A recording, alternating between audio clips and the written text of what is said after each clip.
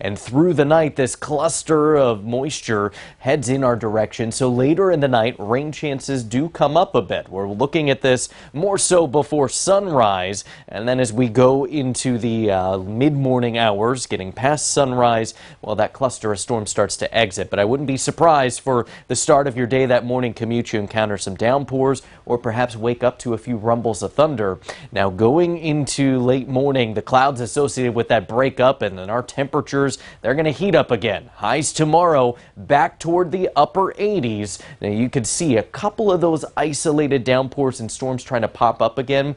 It is not out of the question for Friday afternoon that you encounter a brief shower or a quick downpour. They will be very isolated, so it is not going to be a washout, but I can't rule that out during at least the early afternoon. Toward Friday evening, we're looking at any clouds out there clearing out, and Friday evening does look pretty nice. Temperatures becoming comfortable through the evening, dropping back into the 60s overnight into Saturday. Now, for Saturday, we're going to see a mix of sun and scattered clouds through the day. One thing I'll be watching is a cluster of storms passing by into western Ohio. I do expect that to send some clouds to the valley. Temperatures will jump to around 90, and we are going to have to watch again during the afternoon for some spotty hit or miss downpours and storms. This may be a little overdone, but the timing is does line up when I'm looking for some of those spotty showers or storms possible. And then into Saturday evening, that activity also starts to wane. Now for Sunday, a cold front approaches the area,